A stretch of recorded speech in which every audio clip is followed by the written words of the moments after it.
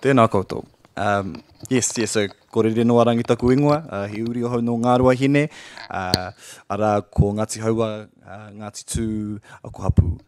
Um, ai, um, and I'm I'm Rhys Rhys Owen. Um, uh, I work at Victoria with uh, with Sydney and with uh, Rere. Um, uh, Sydney's here in spirit, but uh, she left it to the boys. Um, uh,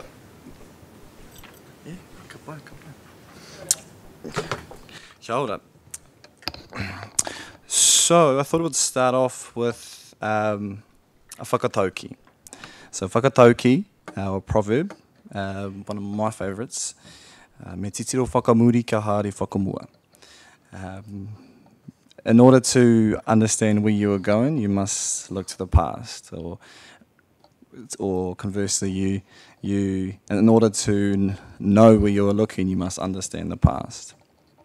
So that kind of underpins our approach to to our problem and to our mahi. So this this map behind us shows us the extent of land confiscations in Taranaki. So around about by around about the 1860s, there's just over a million acres of, of land that were confiscated. There's uh, coming to about 2019, about 70,000 acres were, were given back to Maori, so about 5%. Um, well, yeah, just about 5%.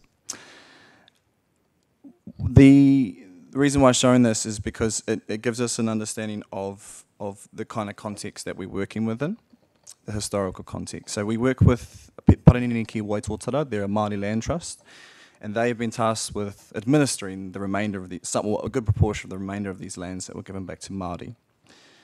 They have a sh- shareholder register of about 10,000 whānau, and they can contact around about, um, ambitiously we'll say, 30% of their shareholders. Uh, um, there's about $5 million in dividends that are yet to be paid out to, to these missing shareholders. And in addition, if you needed to make any kind of uh, administrative changes uh, to the land, you need to have 75% uh, consensus to make, make those changes. So, so our, our problem really is, is, is trying to find people. That's, a, that's, that's the project that we're working on. How do we find people? So, in order to kind of figure out how to find people, we needed to figure out how people go missing and, and what it is to be missing. And yeah, so that, I guess that's what I mean by the whakatauki. We must understand where we've been to, to know where we're going. Um, uh, uh, uh, oh. Technical difficulties. There. Gorgeous. Here we are. Here we are. So if you if you were to go on to Māori online and search uh, for a landowner, you you could go to their website and it would show a bunch of names. And so if I did the same for my nana, it will show her Maori name, it will show her English name, her and then a, and then a combination of those first names with some of her married names. Um, didn't have TV back in those days, so she she had a few marriages in her time. So a combination of she told me that that's that's not me saying that about her. She she she said that to me. That's um, so. Over the years, the kind of the, the succession of land or the, or the, the changing of, of interest of land from through generations is, is a flawed process, uh, but also when we when we're trying to think about how we reconstruct the past, uh, we have a look at the data and it's messy. So if we take into account the six or so different names that represent my nana, then if we look in the data, we there'll be six or seven different entities that represent the same person.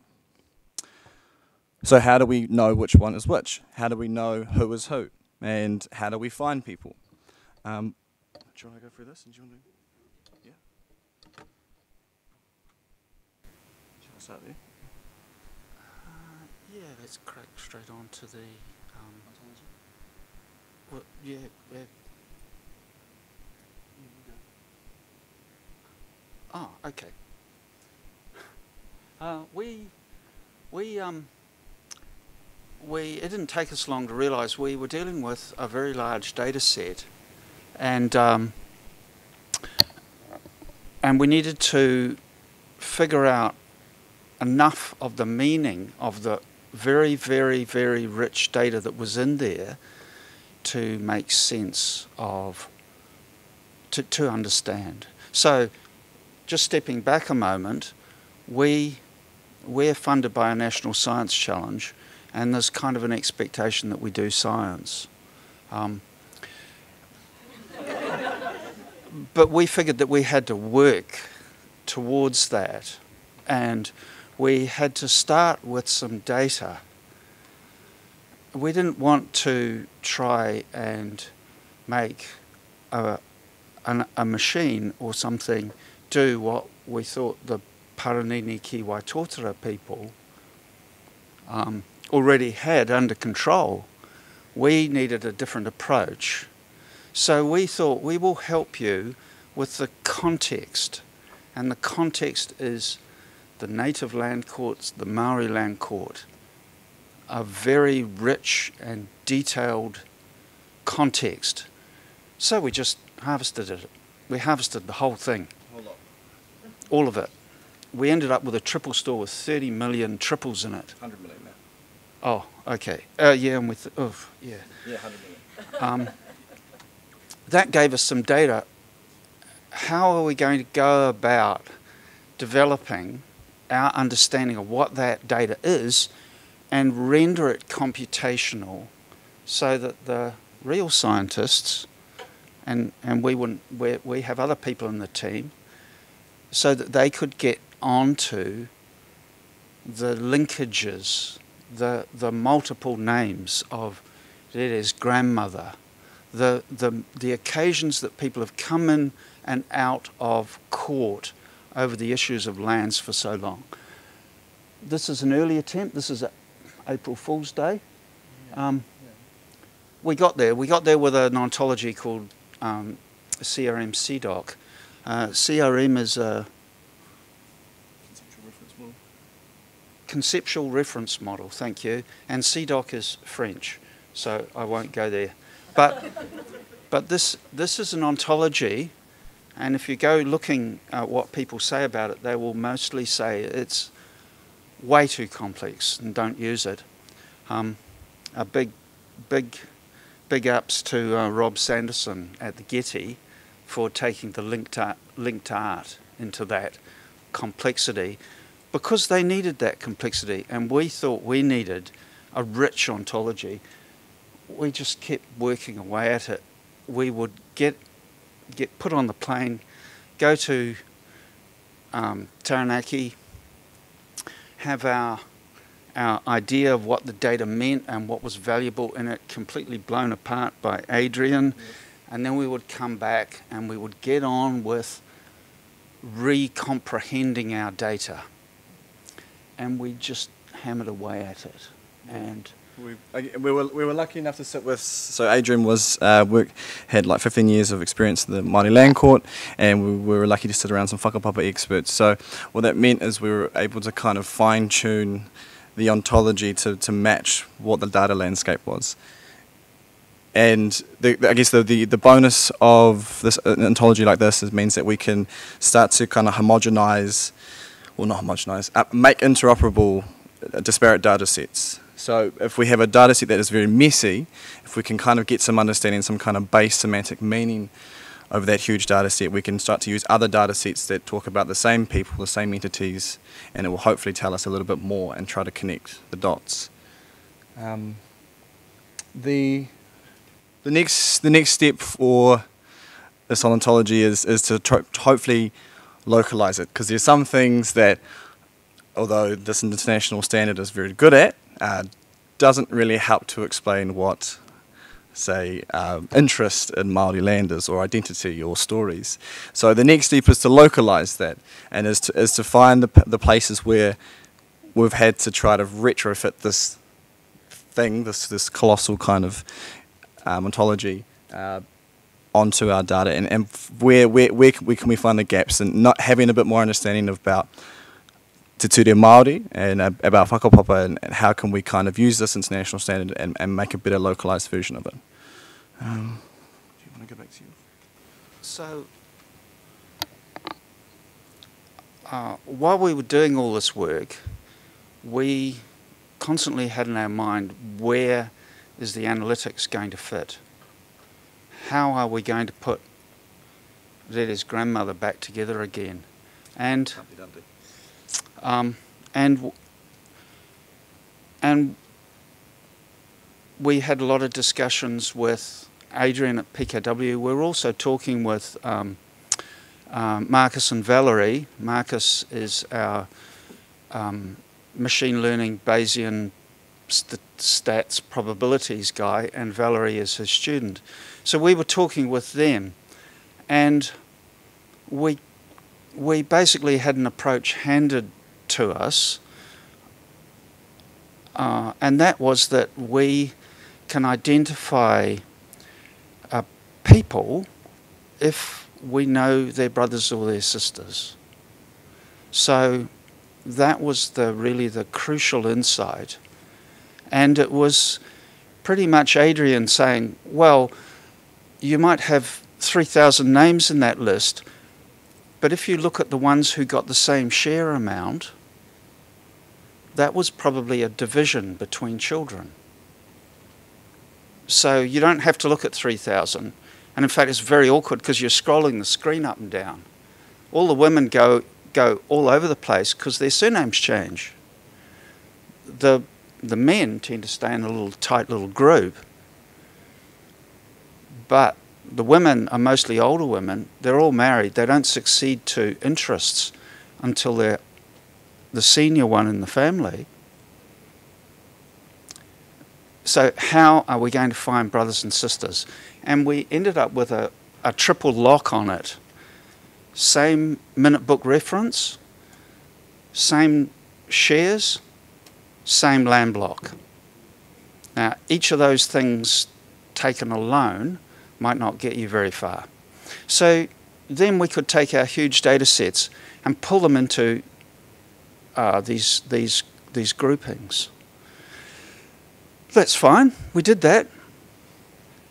We got 570,000 odd groups yeah. of, of what we think might be siblings. 570,000. Except that we've just discovered that we think we missed out half the data. Yeah, yeah we did. Um, oh, we, we did actually. Um, we kind of, yeah, more, more, we, we are going to have to get back to our, our, our conceptual reference diagram. We've got some things that we sort of missed. 300, well, while all this was going on, we were looking at another source. We had our eye on births, deaths, marriages. We ended up going with births, and we pulled births out of BDM historical records, um, as many as as um, as DIA would put on a screen for us. Um, we grouped them up. Pre 1920 birth records, we have about 330,000 groups. So there we are, we're celebrating. We've got, we've got this. The analytics people are just going to have to solve that. They've just got one job give us a probability. How hard can that be? Well, um, I think I think I now now we're catching up. We're we're only two weeks ago now, three weeks ago. We'd done it, except we needed to know that at least one pair of siblings could be found in historical births, deaths, marriages, and this and what looks like exactly the same pair of siblings we can find in Māori Land online.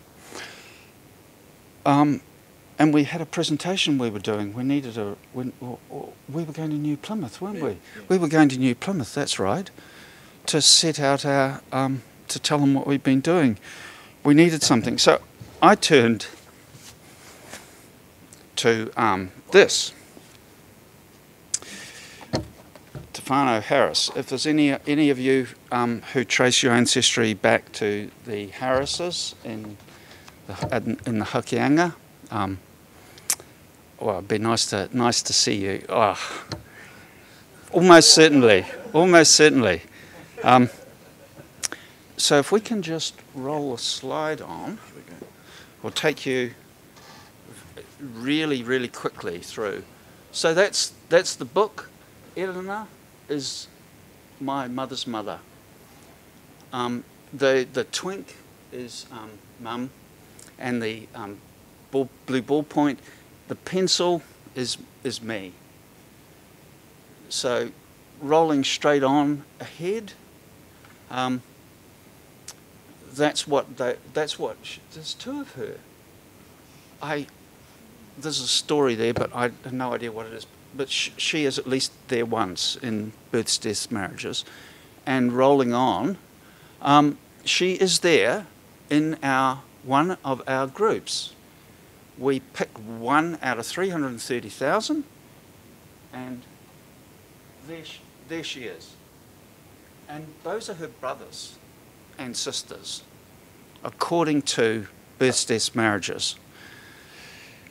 Rolling on, there she is. There she is in M- Māori Land Online. A court reference, a minute book reference, hallelujah. Many of them don't have that, but this one does.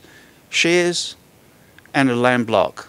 And it's, of course, it's, it's on the, um, the, it's on Motukaraka Road, of course. Our group, we found her brother. We've also found her maiden and married name, but we found her brother. So that, that was was um, a very a very nice moment, and um, and now uh, we didn't write this. Um, none of you none of you are allowed to leave. This is mathematics. Um, this is Marcus and Valerie and where their thinking is at the moment. So their their job, it's one job, is to just put a probability on that, and that means that they need to build a model for how names change and why it might be not quite not quite recorded the same, and all of that uh, theoretical machinery. We are going to turn it into running running on the whole thing. Um, and we have the um, national e-science infrastructure to give us a bit of a do do some heavy lifting there yeah. for that. Got some big toys, lucky, lucky. Um, yeah, what what was really interesting with the, the birth records is that we we can only access birth records that are over births that were registered over hundred years ago, and so you'd think, oh, well, if you're looking for current owners and land, then the, the, you know you're gonna it's not going to work. However, as we can find, I mean, Rhys is he's yes, he's a young man, but his grandmother um, is still a, considered a, current owner in Māori Land Online. So who and she was born at the turn of the century. Yeah. Um, and and my, my great grandfather Rangi, he was born in 1911, and he's still considered a current owner. There's been two generations of people that should be, should have succeeded him by then, but it, but I guess it highlights the kind of the actual fracturing of whānau because you need to get people at the table to go to court to, to, to go walk through these processes to to to talk about what do we do with this land. Um, so this is like my little slice of heaven, um, South Taranaki. This this photo is just taken just down the road from the Urupa, where my uh, great grandmother and my great grandfather are buried, and they were both shareholders of PKW as as, as well, and sh so shareholders of Māori land. So I guess bringing it back down to some version of Earth, um, what it really means is is it means that there are there are 70% of this of this register, 7,000 plus people that can't be contacted. What it really means is they, they, they are unaware of where they connect or how they connect.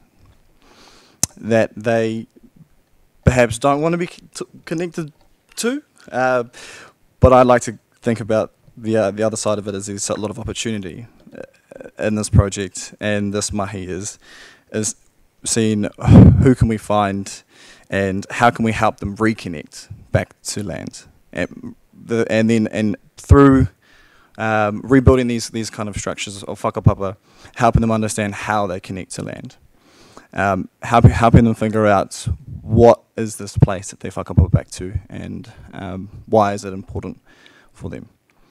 S- um, we're not doing this alone, as Rhys said. Uh, we've got some got some other um, bright and beautiful um, faces here, and as something to note as well that it's quite a multidisciplinary team.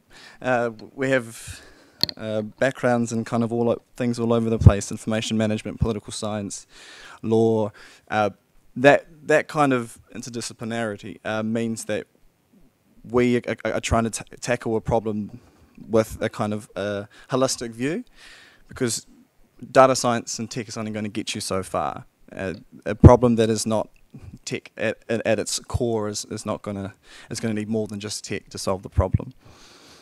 Um, yeah, yeah, that's us.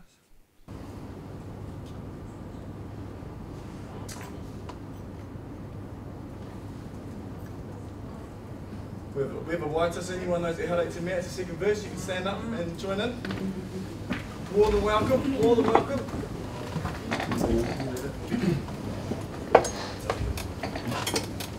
After toru. Thank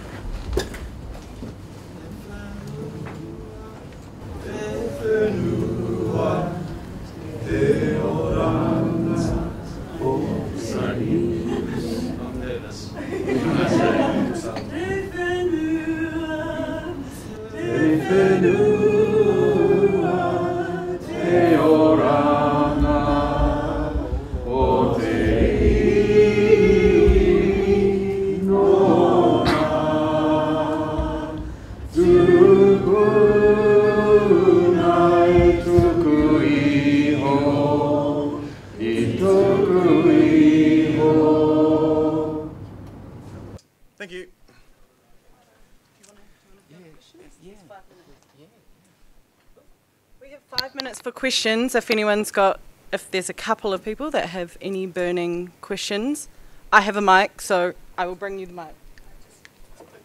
I can hear you from here. Oh yeah, no, I've got a voice. there you go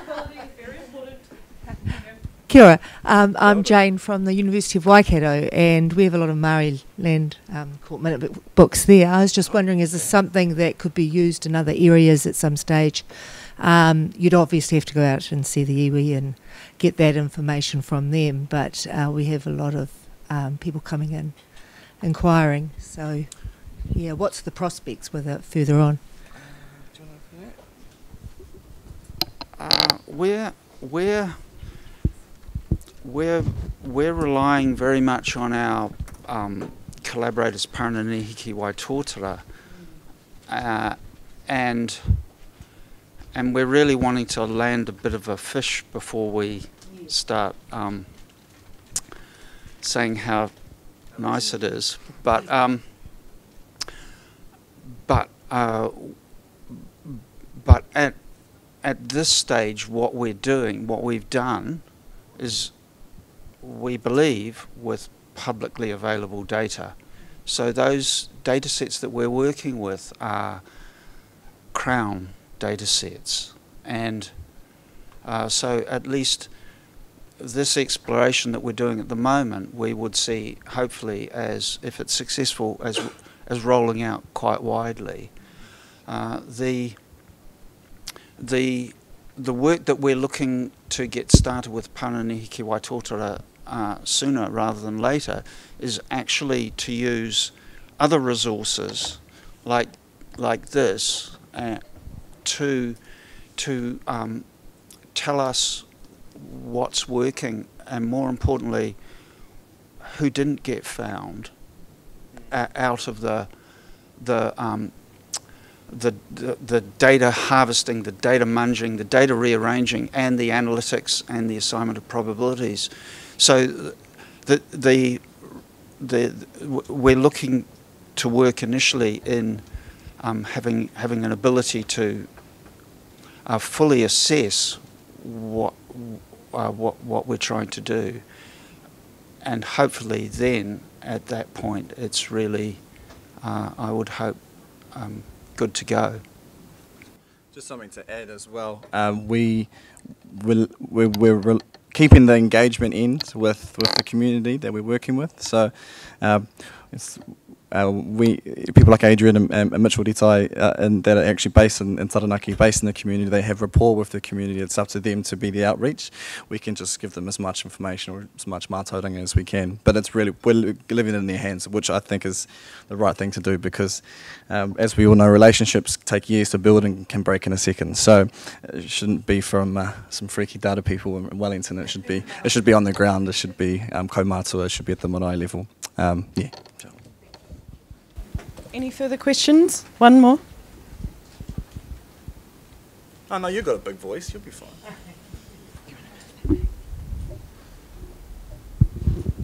Kia ora to both of you. Um, Kia ora.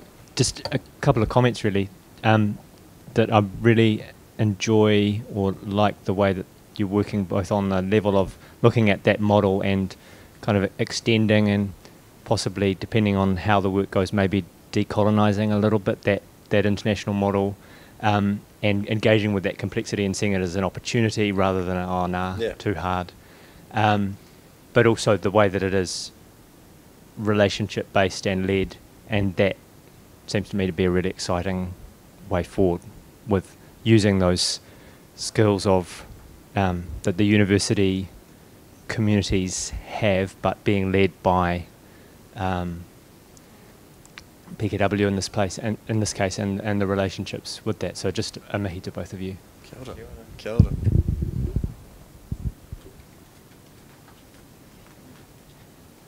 We've got a, I think that's a good place to wrap us up. Um, ho mai te pakipaki tino whakahirahira mo ngā kai kōrero o tēnei rā. Thank you again.